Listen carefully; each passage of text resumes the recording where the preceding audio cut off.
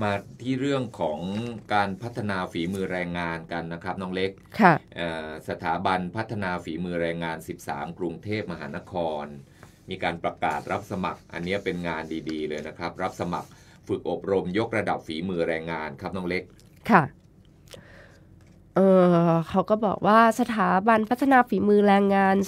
10 13 กรุงเทพมหานครเนี่ยเขาประกาศรับสมัคร ฝึกอบรมยกระดับฝีมือแรงงานสาขาบำรุง รักษาเครื่องปรับอากาศในบ้านครับและการพาณิชย์ขนาดเล็ก ซึ่งจะเปิดตั้งแต่วันนี้ไปจนถึงวันที่ 26 กรกฎาคมนะคะครับซึ่งเอ่อถ้าคุณผู้ชมคุณผู้ฟังเนี่ยสนใจก็สามารถสมัครได้ที่ได้ด้วยตนเอง โดยไปที่ อาคาร 2 ชั้น 2 กลุ่มงานแผนงานและประเมินผลสถาบันพัฒนาฝีมือแรงงาน 13 กรุงเทพมหานคร หรือยื่นเอกสารการสมัครทางอีเมลก็ได้นะคะ dhd underscore bkk at hotmail com ค่ะ ครับผม ฝึกอบรมระหว่างวันที่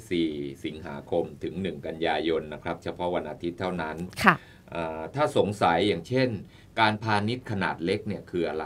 ค่ะ ต้องโทรไปถามค่ะว่าก็สโคปการอบรมเนี่ยมันเป็นยังไงบ้างตรงกับที่เราต้องการไหมค่ะใช่ไหมครับน้องเล็กอย่างเอ่อเครื่องปรับอากาศภายในบ้านเนี่ยง่าย ไม่เป็นอืมไรก็รู้ว่าไปฝึกอบรมแบบไหนยังไง เรื่องเกี่ยวกับเครื่องปรับอากาศนะ เรื่องแอค่ะร์ค่ะแต่เรื่องการพาณิชย์ขนาดเล็กเนี่ยยังไม่แน่ใจ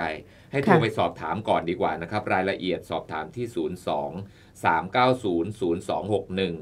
0261 02 390 0261 ต่อ 102 103 นะครับค่ะ 2 เบอร์ค่ะ ครับผม ค่ะ หรือเออสามารถเข้าไปดาวน์โหลดใบสมัครได้ที่ลิงก์เอ่อเว็บไซต์นะคะ dsd go th นะคะ slash bangkok แล้วก็ slash legion ค่ะ